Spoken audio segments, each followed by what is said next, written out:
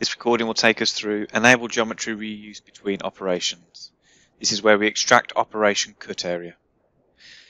In this part we can see we have uh, lots of complex surfaces where operations are required to specify the surfaces that need to be machined.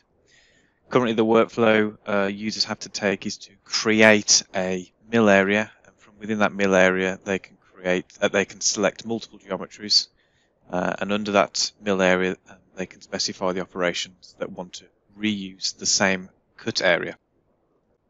However, some users find that they create an operation and then decide that they want to keep the cut area but change the type of operation. Currently they would have to reselect that geometry again or if they would like to use a subsequent operation using the same cut area that's a different operation type, again they would need to reselect that geometry. What we've enabled is that an operation such as this tube mill which has a cut area defined inside this port and would like to reuse it for other operations. Now what you can do is go to the geometry view, right mouse button on the operation. Under objects we can now select extract cut area. This is the new capability.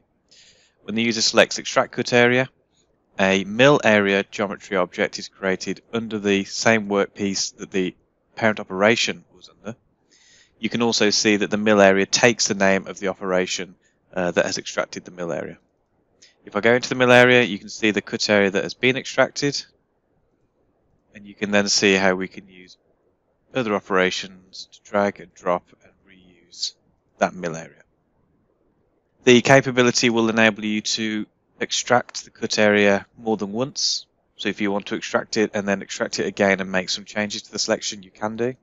So the second selection, I can go around and deselect a single face, deselect another face, and we can have a different selection area.